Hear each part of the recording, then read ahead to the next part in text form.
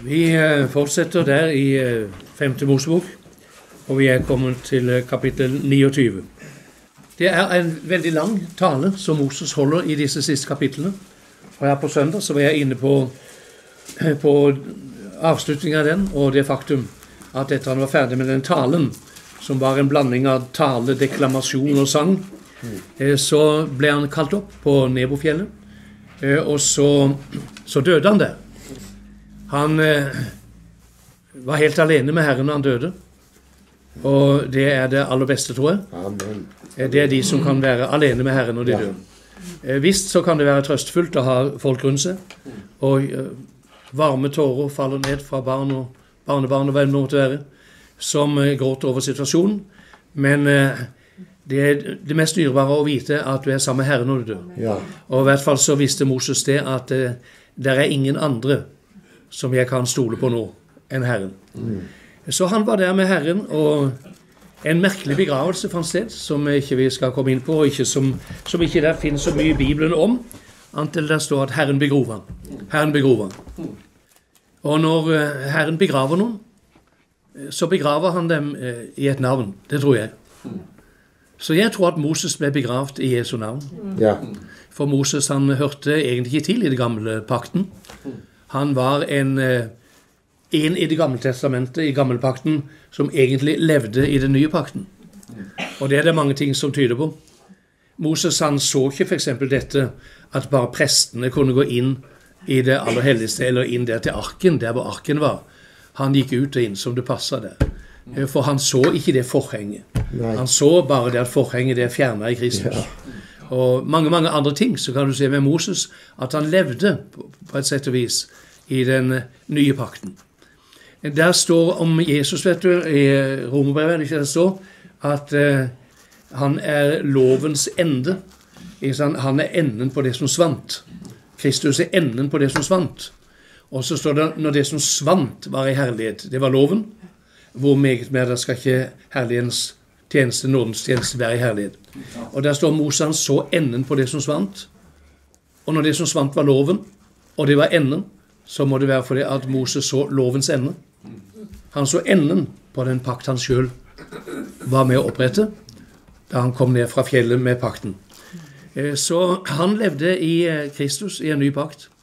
Og det skjønner vi, fordi at han hadde full oversikt over Golgata. Da han like før Golgata møtte opp på Forklarelsens berg sammen med Elias og la ut for Jesus det han skulle lide og gjennomgå i Jerusalem, ikke sant? bare seks dager etterpå. Så skulle Jesus ofres, og han var der på Forklarelsens berg.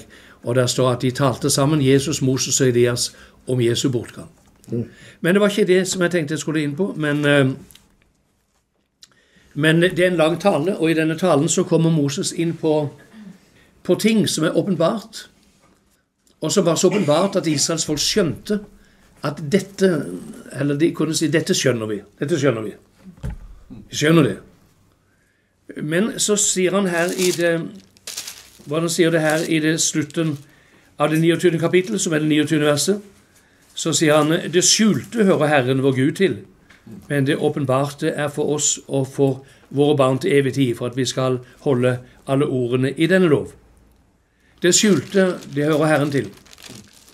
Så hendte det at Gud førte noen utvalgte inn i det skjulte. Inn i de skjulte tingene. Og Moses var en av dem som så inn i lovens ende. Han så slutten av loven, og han så det eh, Guds rike som lå der fremme. Ikke sant? Han så staden, han så det hele, sier Hebrevet. Nå skal vi ikke gå noe nærmere inn på det, men bare eh, konstatere at eh, det er en oppsummering som Moses kommer med gjennom mange kapitler. Eh, og det var det jeg skulle til å si. At eh, jeg talte her om søndag over dette ordet at dette er ikke et tomt ord for dere. Det er deres liv. Eh, så er disse tingene som vi leser i Bibelen, et tomt ord for de aller fleste mennesker. Det er et tomt ord for de aller fleste. De ord som vi leser i Det gamle testamentet, det er tomt for de fleste. Nå hørte jeg just når jeg kjørte her til møte, og med all respekt for det norske kongehus og, og de tre utmerkede kongene vi har hatt siden vi ble uh, ferdig med Danmark og, og, og, Sverige, og, de kalte opp uh, en dansk prins ikke sant, uh, som tok navnet Håkon. Og Håkon han talte, og han ved forskjellige anledninger og den som holdt andakten der på Misjonsradioen når jeg var på vei til møte, sier at Håkon hadde et velbrukt Nytestamente. Jo, det er fint, det, men Nytestamentet det er bare en del av Guds ord. Og hvorfor har de fleste sånne religiøse bare Nytestamentet? For Det gamle testamentet er tomme ord for dem. For det må åpenbares. Gammeltestamentet må åpenbares. Ellers er det ikke noe.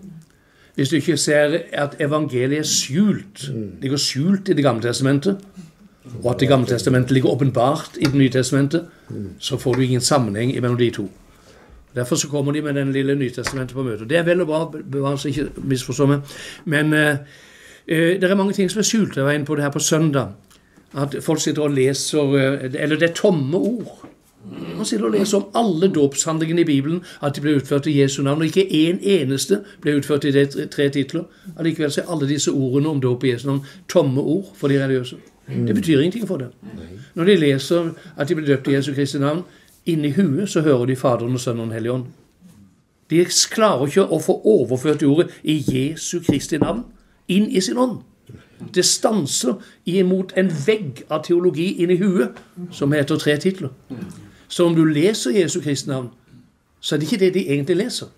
De leser for dette som står blir tomme. Nå skal vi ikke, nå ikke utdype det med noe mer, men eh, vi er nå inne i noe av eh, de avsluttende betraktninger som Moses kommer med etter å ha leda denne menigheten ut fra Egyptens fangenskap og gjennom 40 år i ørkenen.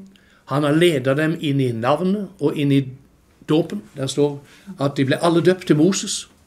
Det er klart det var ikke til mannen Moses de ble døpt men de ble døpt til Han, som er den store utfrieren fra syndens Egypten, og som er den som Bibelen sier Herren sa til Moses, en profet like som deg, skal Herren nederst ut opp, reise blant deres brødre. Han skal dere høre. Sånn er det.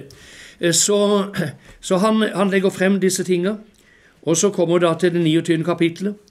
Og vi har lest om velsignelsen og forbannelsen og på Ebalfjellet og Garresinfjellet. Og vi har lest om alle de mektige velsignelsene i eh, det 28. kapittelet. Og vi har tilsvarende lest om tre ganger så mange forbannelser som velsignelser som ramses opp eh, i, slutten av det 28. Eh, kapittelet. Og så kommer vi opp til en slags oppsummering da, i det 29. kapittelet, hvor han, han sier dette, sier Moses, er den paktsord som Herren bød Moses å gjøre med Israels barn i Moabs land, eh, foruten den pakt han hadde gjort med dem på Horeb. Det er den samme pakten, det er bare den ble gjentatt. Eh, så ser du, Moses kalte hele Israel til seg og sa til dem eh, Dere har sett alt det Herren gjorde for, for deres øyne i Egyptens land med farao og alle de tjenere alle hans tjenere og hele hans land. De store plager som du så for dine øyne, de store tegn under. Men like til denne dag har Herren ikke latt, gitt dere et hjerte til å forstå, eller øyne til å se, eller øre til å høre med. Han oppsummerer at eh, pakten eh, mellom eh, Gud og dette folket, eller eh, forholdet mellom Gud og dette folket, er basert på en eh, skriftlig pakt. Var den skriftlig? Ja, den var i høyeste grad skriftlig. Herren med sin finger rissa inn i granitt, rissa inn i stein, de ti bud, som var grunnlaget for denne pakten. Så det var en skreven pakt som, eh, eh, som, som de hadde med Herren. Eh, så Han sier det var den pakt som ble gjort i Moabs land, og da leser vi i det femte kapittel og andre og tredje verset at som vi ikke skal ta tid til å fordype oss noe i, men Herren kalte, Moses kalte hele Israel til seg og sa:" Hør, Israel, de lover og de bud som jeg taler for deres øre i dag, og lær dem å ta vare på dem, så det holder dem. Så sier han det var ikke med våre fedre at Herren gjorde denne pakt. Det var ikke med Abraham og Isak og Jakob han gjorde den. Det var ikke våre fedre som fikk den pakten med de ti bud. Abraham hørte ikke et ord om de ti bud. Isak, Jakob, hørte ingenting om det. Det var en pakt som han oppretta med Jakobs tolv sønner og deres etterkommere og deres barn. Så sier han eh, det var vi som er her, alle vi som er i live i dag. Åsen til åsen talte Herren oss på fjellet, og midt ut av ilden. Jeg sto den gang mellom Herren og dere for å kunngjøre Herrens ord for dere var redd for ilden og gikk ikke opp på fjellet. for deres eh, og han sa, 'Jeg er Herren din Gud', så førte jeg Guds land. Du skal ikke andre guder med. Og så kommer da oppsummeringen av disse ti budene. Moses sa, 'Jeg sto der som en mellommann'. Og en mellommann mellom Gud og menneske, sånn som Moses var, det er det Jesus også var. Han var en mellommann som menneske. Det er én mellommann mellom Gud og menneske. Menneske Jesus Kristus. Menneske Jesus Kristus. Og en mellommann står det, det er ikke for én. En mellommann men kan ikke være en mellommann for én. Da er man ikke mellom noen. Det må være to. Ikke sant? Det må være to. Derfor så sto Kristus som mellommann. Ikke sant? Som menneske. Ikke som Gud, men som menneske var han mellommann. Jeg har vært inne på det før. La meg ganske kort repetere. At en mellommann er betreier, en arbitreier. En mellommann. En, en, en, en, mellommann. Det må være en som forstår begge partene like godt. Ellers vil den ene parten protestere. At du forstår bare den andre parten og ikke meg. Du skjønner ikke hvordan jeg hadde. Du skjønner bare hvordan motparten hadde. Det må være en som forstår begge partene like godt som har brukt som et lite veldig dumt og haltende eksempel. Men f.eks. at hvis det var en kamp mellom en hund og en katt, så sier Gud da skal vi få noen til å avgjøre den tingen. Da får jeg tak i ei katte som kan avgjøre feiden mellom den katten og den hunden. Så vil eh, katta si ja, det er jeg veldig glad for. Det, det, passer meg veldig godt, for den katten forstår meg. Men hunden sa jeg vil ikke ha det som en mellommann, for den katta forstår ikke meg som en hund. Og hvis Herren da sier da kan vi sette en hund, så sier katta det protesterer jeg på. Derfor måtte du ha en som mellommann som var både hund og katt, som forsto begge deler like godt. Og derfor er Jesus eh, mellommann, for han er sann Gud og sant menneske. Han er sann Gud og sant menneske. Så han kan se det fra menneskets side, og han kan se det fra, fra Guds side. Det er et, i høyeste grad haltende bilde, men du forstår det likevel. Eh, så her er det at han sier 'jeg var en mellommann'. Og en mellommann, som på Moses var, og presteskapet er, og de som er mellommenn, jeg er en av dem i kraft av min tjeneste, ikke som menneske ellers, men uh, i den tjeneste som jeg har, så er man en sendebud i Kristi sted, som om Gud selv formante ved oss. Vi ber i Kristi sted. Men en mellommann. Og en mellommann, det er den som skal bringe menneskets nød fremfor Gud. Han skal ta menneskets nød. Folket sier sånn og sånn, Gud. Folket lider av det og det, Gud. Så nå tar jeg det opp til deg. Og så skal han bringe Guds svar tilbake til menneskene. Det er en mellommann. Hvis du bare kan bringe folkets nød fremfor Gud, da er du ingen mellommann. Og det er jo sånn holdt på å si, De aller fleste predikanter og prester de har lært den sjelesørgerske delen å bringe menneskets nød fremfor Gud. Det skal man bare ha en liten psykologisk sans til å kunne klare stort sett. Men det å bringe Guds guddommelige, så å si Herrens svar, tilbake til nøden, slik at nøden opphører, det er en guddommelig gave. Det er en guddommelig gave. Og her sier Moses jeg var mellommann, for dere vågde ikke å bli med opp og høre Gud sjøl. Dere vågde ikke å stå ansikt til ansikt med ham. Når dere så hele, hele fjellet spruta som uh, hva skal si, som Hekla-vulkanen på, på Island, eller som Vesuv i, i dag Der så hele her vulkanutbruddet, så sa det Moses, du må gå opp der. Vi, vi har ikke nerver til å, å være i sånne gudstjenester som du har. Så er dette altså en oppsummering av den pakten. Og husk at det var den pakten som skulle ta dem inn i landet. Det var den pakten som skulle ta dem inn i landet. Det var jo den som han oppretta i eh, andre Mosebok, ikke sant? I andre Mosebok, det 19. kapittel. Eh, da er det gått tre måneder etter at Israel har gått gjennom Rødehavet kommet ut av Egypten. Eh, så sier han at på denne tre månedersdagen På denne tre månedersdagen, sier han, så skal dere så skal dere få pakten så sier han eh, dersom Dersom dere nå lyder min røst Det sier han tre, tre måneder, på tremånedersdagen, nøyaktig på dagen etter de har gått ut av Egyptens land. Så står Moses frem og sier på vegne av Herren, sier Herren, dersom dere nå lyder min røst og holder min pakt, da skal dere være min eiendom fremfor alle folk, for hele jorden hører med til. Og dere skal være med et kongerike av prester og et hellig folk. Det er de ord du skal tale til Israels barn. Det er det du skal ta. Dere skal være med et kongerike og være prester. Men den gang, ei, det varte ikke. Det varte ikke til kvelden var ferdig, nesten. Eh, for eh, når Moses kom ned fra fjellet, så hadde de lagd en uh, gud, ikke sant, en, kalv. en kalv. De hadde lagd en oksekalv i gull og dansa som gale rundt den. Og så er det at Herren sa at dere kan ikke, i den stilen kan ikke dere være prester i det hele tatt. Gud hadde ikke sagt at det skulle være én stamme som skulle være prester. Han sa hele folket skal være prester. Ja. Hele folk skal være prester. Mm. Ikke sant?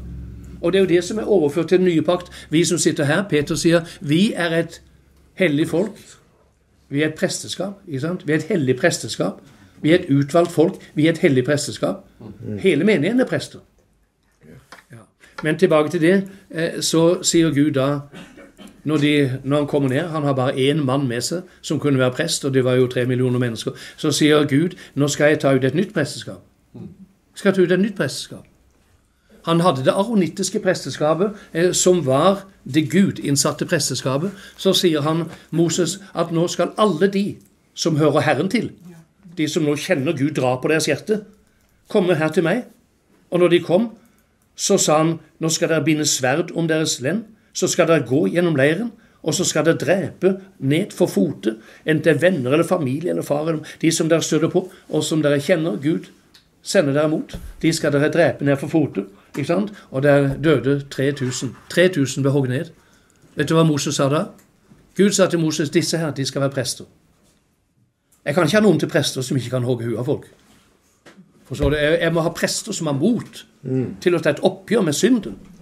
Kan ikke ha bare prester som jatter og glatter med og smeker folk etter håret. Jeg må ha et presteskap som er villig til å utføre det Gud sier, uansett hvor brutalt det virker. Jeg kan ikke ha et presteskap som elsker far og mor og hustru og barn mer enn meg. Så han sa jo om du møter far eller mor, hvem du enn møter Det er jo en lang historie, men det står jo her i Bibelen, og der kan den, dere som har lest Bibelen. Så nå er det altså at den pakten brøt de.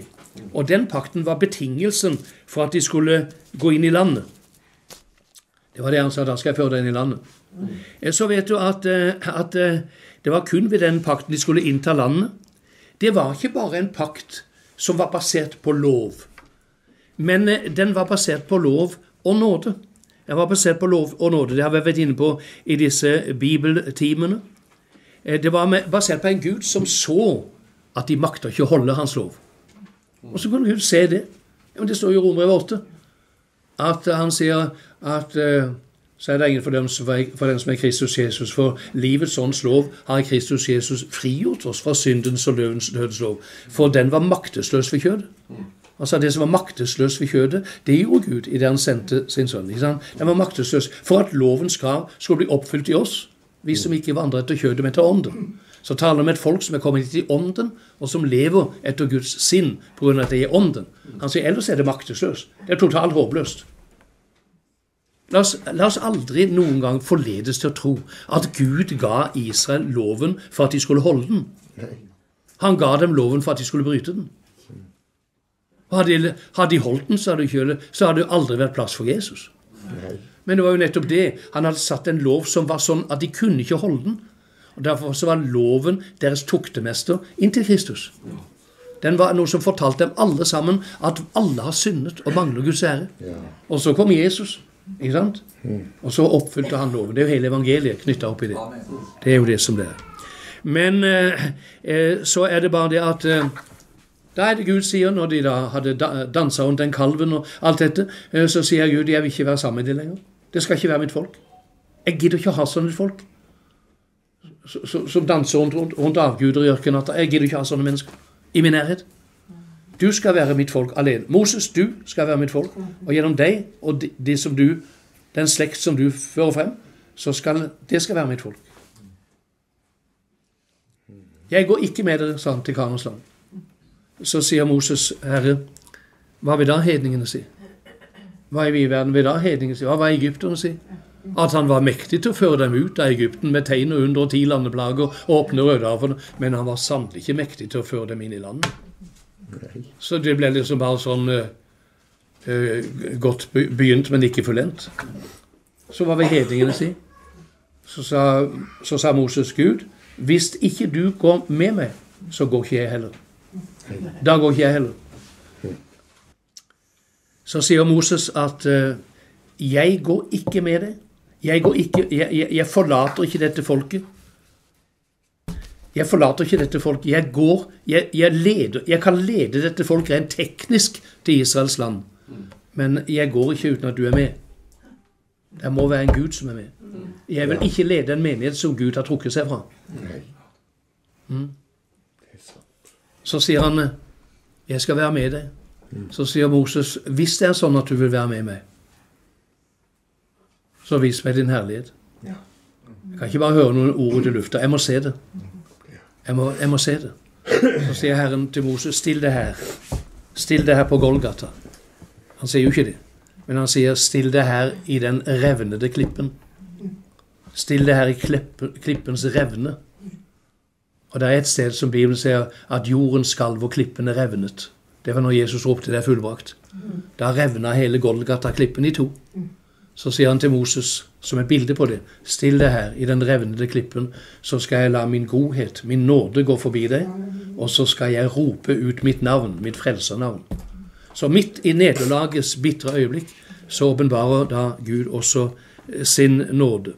Så åpenbarer han sin nåde. For hadde det ikke vært for Moses bønn at jeg, jeg går ikke uten at du er med. Gud, du må tilgi ditt folk. Moses ba for folket, og Gud eh, viste barmhjertighet. Så kan du si På hvilken pakt skulle de da gå inn i landet? Når de ikke, skulle, når de ikke kunne komme inn pga. pakten ved Horeb? At de skulle holde ti bud? På hvilken pakt skulle de da gå inn? Skulle de gå inn på pakten som Gud gjorde med Abraham? Jeg har sitert her, jeg har skrevet ned den pakten. La meg si sånn, Hvis de skulle ha gått inn i Kanans land nå på Abrahams pakt, så kunne Gud aldri ha drevet dem ut derifra. Det var ikke noe i pakten med Abraham som innebar at de skulle forlate landet. Den pakt som de gikk inn i landet på, var ikke pakten fra første Mosebok 12. kapittel. Det var pakten ifra, ifra andre Mosebok 29. kapittel. Men det har vi jo allerede sitert. Så du kan si altså Da ville de ikke ha kunnet bli spredt. For til den pakten hørte det at de skulle bo og være i landet og velsignes i landet, ikke noen ting annet. Men til den Horeb-pakten, eller pakten som han taler om her, i Moabs land, som er pakten ved Horeb, på, tre, på tremånedersdagen etter de kom ut fra Egypten. Jeg håper du klarer å holde, holde tanken klar. Så er det at han sier at den pakten skal dere gå inn i landet på.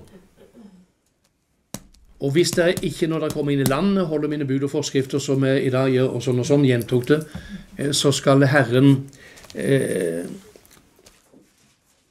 Så skal Herren la disse forbannelsene komme over deg. Det er jo det han sier i slutten av det 29. kapittelet.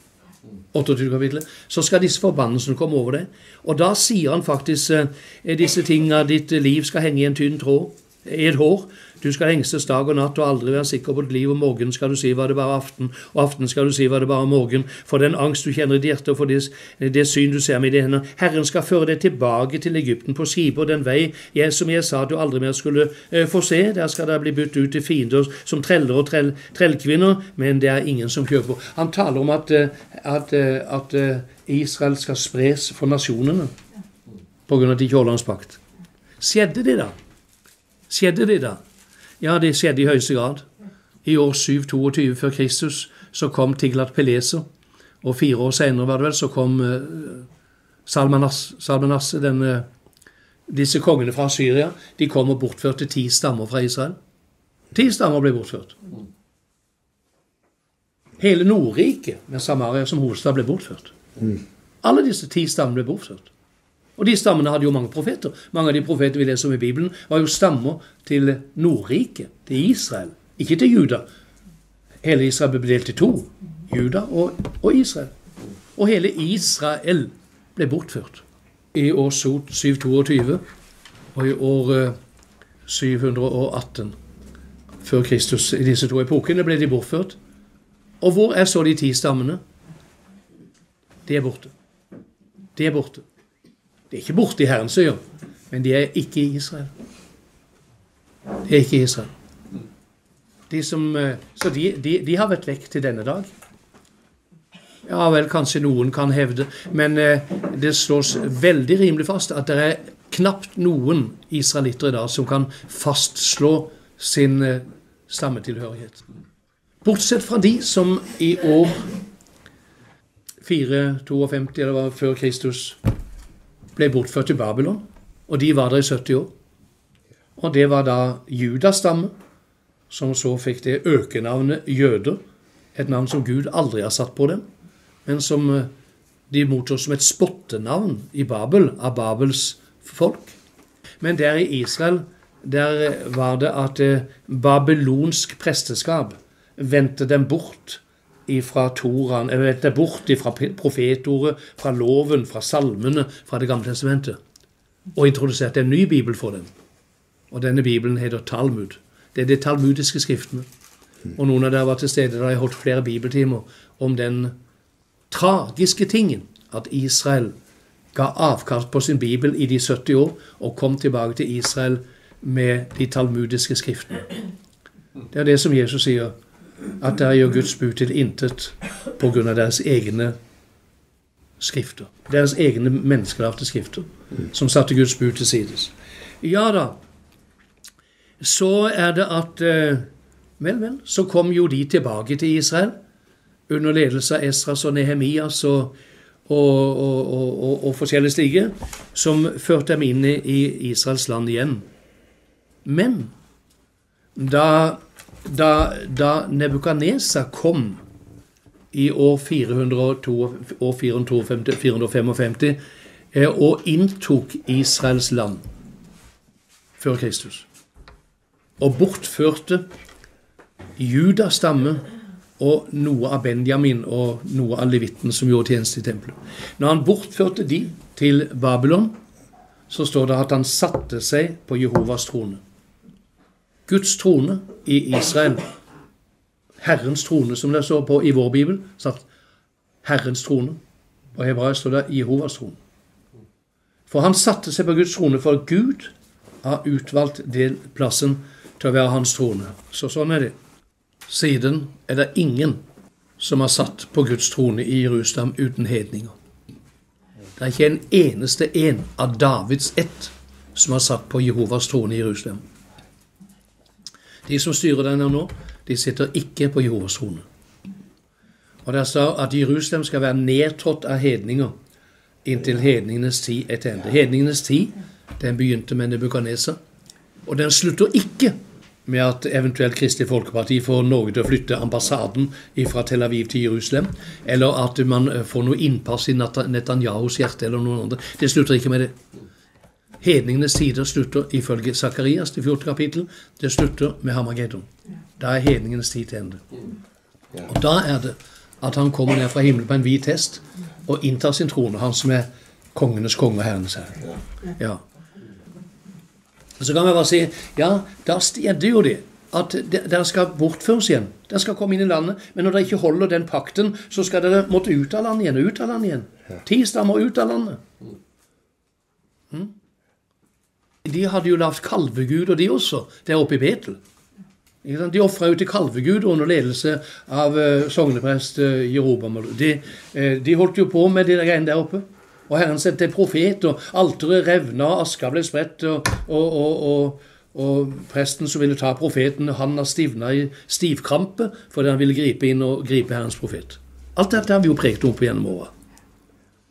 Men, men så ble altså de ti stammene bortført. Og så satt jeg da Som jeg sa, så kom Judas stamme, og, og, noen av de andre de kom tilbake.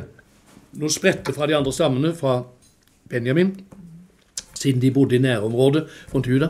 De kom tilbake etter 70 år, som Herren hadde sagt. Men eh, det ble ikke underlagt et Davids kongestyre. Det er et kongestyre som ble reservert for han som skal sitte på Davids trone. Mm. Inntil enden er krig fast besluttet. Eh, du vet, eh, Han taler om Juda, vet du. Så sier han eh, herskestav skal ikke vike fra Juda inntil fredsfyrsten kommer og folket blir hamlydige. Det er Jesus som er den som skal sitte på sin far Davids trone. Ja. ja, men så fikk de vel bo der, da når de kom tilbake fra Babel og, og, og hele historien omkring det, så fikk de vel bo der, da. Nei, hvor lenge var Adam i paradis, så kan du si. Så kom uh, romermakten og tok dem. Og det er jo mange andre Jeg hadde jo talt om det med i forbindelse med i forbindelse med Daniels profesier. De forskjellige som tok og inntok og inntok og inntok inntil romermakten kom.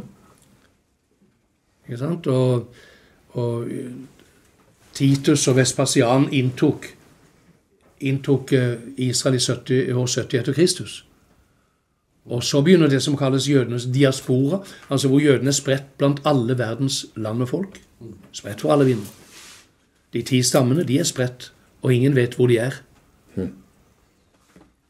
Eh, for det er et tydelig spor etter hvor de er. Men eh, det er ingen som med sikkerhet kan si at Danmark heter Danmark fordi den er av dansk stamme. Men det er mange ting som tyder på eh, Det er mange indikatorer på at man vet hvor, tok, hvor folkevandringene etter, et, etter, etter det asyriske fangenskapet hvordan de endte. Men allikevel skal man si at den store diasporaen Det er vel en fem-seks millioner jøder i Israel i dag. Mens det på utsiden av Israels grenser er 50-60 millioner jøder som er spredt over hele verden. Nok om det. Men eh, han sier til Abraham, nemlig i 1. Mosebok 12, 'Jeg vil gjøre deg til et stort folk'. 'Jeg vil velsigne deg og gjøre ditt navn stort, og du skal bli en velsignelse.' 'Og jeg vil velsigne dem som velsigner deg, og den som forbanner deg, vil jeg forbanne.' 'Og i deg skal alle jordens sektor velsignes.' Ja, det er så merkelig at disse Israel-predikantene de har omskrevet dette verset elegant at jeg vil velsigne alle de som velsigner Israel. Og de som forbanner Israel, de vil jeg forbanne. Det står ikke det. Han sier det personlig til Abraham. Jeg skal velsigne de som velsigner deg. Og hvem er så Abraham far til? Han er far til oss som sitter her. Langt mer enn han er far til de som bor der nede i Palestina. Han har noen der også. Én blant tusen, eller one of a million. Men eh, her har han en menighet hvor alle vi som er Abrahams tro, er Abrahams barn. Vi er, For denne slekten til Abraham sier slekten den er Isak. Og Isak sier han det er Kristus. Ja. Isak, det er Kristus. Ja. De skulle ikke være, drives ut av landet for godt. De er rundt omkring i verden. Men han lover og sier at de skal komme tilbake igjen, de som er utvalgt til det. Eh, sånn at Abrahams velsignelse jeg skal gjøre det til et stort folk. Jeg skal gi deg landet der og der med de og de grensene, og det og det innflytelsesområdet skal du få. Og så, så tror man at det kommer noe. Abraham han, han er veldig glad i dag for at hans sak blir tatt opp i Det norske storting. og Han er veldig glad for at Kristelig Folkeparti taler hans sak. Han er nok veldig glad for at partiet De kristne taler Abrahams sak. og Han er nok veldig glad for at i nasjonalforsamlingen, FNs, FNs FN-forsamlingen, at der taler de sak. og Han er nok veldig glad for uh, at uh, Bill Clinton tok opp jødespørsmålet, og, han sier til Camp David. Han er veldig glad for at en ugudelig utenriksminister i Norge uh, tok opp saken og skaffa til veie Oslo-avtalen, som bare er en fadese fra A til Å. Så, så det er mange som har prøvd å hjelpe gamle gamle, stakkars Abraham. Det hjelper ingenting før timingen er der. Gud har en timing for allting. Og når den, det, du kan se, når, når, Israel ble utfridd fra Egypten og Alt dette er jo bare repetisjon, men når Israel ble utfridd fra Egypten, som er like foran her, da, så måtte det altså gå 430 år. 430 år så ble de utfridd. Hvorfor? Fordi hadde Gud tima og sagt til Abraham at ditt folk, din ett, skal bo som fremmede og som slaver. De skal trelle under andre folk i 400 år. Så var det 430 år. For de første 30 åra trella de ikke, for da var Josef eh, sjefen, og han sørga for at de fikk det beste landet, og de trella ikke i det hele tatt. De bodde og nøt det beste av Egyptens land. Men så, da Josef døde, så kom det farao som ikke kjente til Josefs velgjerninger, og så begynte trellearbeidet for alvor. Og i 400 år så trella de. Og hvor lenge må de være der? Han sier de skal være der inntil amorittene har fylt sitt ondskapsmål. Gud visste om timingen. Det var ingen eh, samfunnsforsker som fulgte med når amorittene hadde fylt sitt ondskapsmål. Det var ingen eh, studie, studie og doktorgrader på de tingene. Gud fulgte med det. Gud fulgte med det. Ja, men hvis vi nå hadde sendt en eller annen gjeng, en hær fra Norge, Norge Norges uh, Telemarksbataljon, ned for å utfri disse jødene et, et, et, etter 100 år hadde vi ikke fått dem ut av. Ikke tale om. Om du hadde sendt alle verdens herrer, hadde du ikke fått ut en eneste en. før Guds timingsklokke slo. Før det siste korn i timeglasset rente ut. Jeg forstår ikke. Jeg forstår ikke at ikke folk, religiøse mennesker og troende menn som leser Bibelen, kan skjønne at Gud har en timing. Han sier når jeg vil, når jeg vil, sier så bønnhører jeg det. Og på frelsens dag så kommer jeg deg i hu. Den dag jeg vil, se ham, så bønnhører jeg det. Ja. Men hvis du går til Jeremias Jeremias, skal vi se, hvis du går der i det 30. kapittel, så sier han der dette er det ord som kom til Jeremias fra Herren. Og du vet, det, Dette var jo mens Israel eh, skulle til Babylon. Det var jo akkurat ved inngangen til Babylons fangenskap. Så sier han så sier Herren Israels Gud, skriv alle de ord som jeg har talt til deg, i en bok. For se, dager kommer, sier Herren, da jeg gjør ende på mitt folk Israel og Judas fangenskap. Altså ikke bare på Judas fangenskap, men Israels, de ti stammenes fangenskap. Israel er ikke Juda. Israel er ikke Juda. Hvis man ikke holder de to begrepene klart fra hverandre, så er det mange skriftsteder som blir tåkelagte. Han sier jeg vil gjøre ende på Israels og Judas fangenskap, sier Herren, og føre dem tilbake til de land jeg ga deres fedre, så de kan ta det jeg gir. Og dette er de ord Herren har talt om Israel og Juda. Og så sier han, så sier han nede her eh, taler om eh, hva slags eh, ulykke som har rammet dem. Og ned igjennom så sier han i det åttende verset Og det skal se på den dag han sa om en trengselstid som skal komme. En trengselstid, og Det er den trengselstiden som Bibelen kaller den store trengsel. Det er det som munner ut i jødefolkets frelse. Israelfolkets frelse. Så sier han at La oss ha det sjette verset også. Spør og se om en mann føder. Om en mann føder. Hvorfor ser jeg hver mann med hendene på sine lender lik en fødende kvinne, og hvorfor er alles åsyn, alle åsyn forandret og blitt bleike, altså sjuke, står det i grunnteksten. Ved, ved, sier han, stor er den dag, det er ingen som den. En trengselstid er det for Jakob, men han skal bli frelst fra den. Altså Midt ut av den trengselstiden så kommer frelse for de utvalgte av Abrahams barn. Eh, så sier han videre, og det skal se på den dag, sier Herren herskarens Gud, da vil jeg bryte fiendens åk og ta det av din nakke og dine bånd vil jeg rive i stykker, og fremmede skal ikke mer holde det i trelldom, og de skal eh, tjene Herren sin Gud og Davids konge, som jeg vil oppreise for dem. Og det er sannelig ingen av de som sitter i Knesset i dag, som faller inn i det ordet. Det er Jesus som skal være kongen. Det er han som skal sitte. Den dagen Israel skal bli frelst, så blir de frelst til å gå inn og være et folk med en konge. De blir ikke frelst, og så skal de surre seg frem gjennom vedtak i Knesset og politiske avgjørelser og vennskapskontrakter med Amerika eller Russland. Det er, det er Herren Jesus. Frykt ikke Tiende vers. Frykt ikke du, min tjener Jakob, sier Herren, og reddes ikke Israel. For se, jeg frelser deg fra de fjerne land og de nett fra deres fangenskapsland, og Jakob skal vende tilbake og leve i ro og være trygg, og ingen skal forferde ham. Ja. Tale om den store trengsel som de nå har vært i i over 2000 år. Eh, så sier han eh, i det tolvte verset. Eh, for så sier Herren, ubotelig er din skade, ulegelig din sår. Ingen tar seg av din sag, og ingen eh, så de klemmer ditt sår ut. Legedom, plaster fins ikke for deg. Alle dine elskere har glemt deg og spør ikke etter deg. Og så går han ned igjennom og, og skriver om denne forferdelige smerte som de opplever. Og så sier han i det 17. verset når han kommer til. For jeg vil legge forbinding på deg og lege dine sår, sier Herren, for de kaller det den bortdrevne Sion, som ingen spør etter. Så sier Herren, se, jeg gjør ende, på fangenskapet for Jakobs telt og forbarme over hans boliger. Byen skal bygges på sin haug, og palasset skal stå på sitt rette sted. Og det skal lyde lovsang fra dem og rop fra glade mennesker. Og så taler han ut igjennom her, ikke sant? Ja, taler i det, i det, i det neste 20. verset, og hans sønner skal være som i fordum sier hans menighet skal stå fast for mitt åsyn, og jeg vil gjensøke alle dem som undertrykker ham. Og hans herlige skal være av hans egenhet, og hans hersker utgår hans midt, og jeg vil la han komme nær. Og så, videre, så taler han om det. Så går han over i det 31. verset. Så han på den dag, sier Herren, vil jeg være alle Israels etterskud, og de skal være mine folk.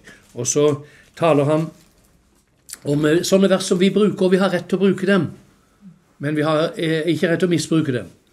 Men når vi sier at vi er Herrens utvalgte folk, at med en evig kjærlighet har Han elsket oss, Det er jo et ynda Vi er en evig kjærlighet. Han elsket oss, og han, derfor skal ikke hans fredspakt opphøre. Så er det til Israel han sier det. Men hva er det, da?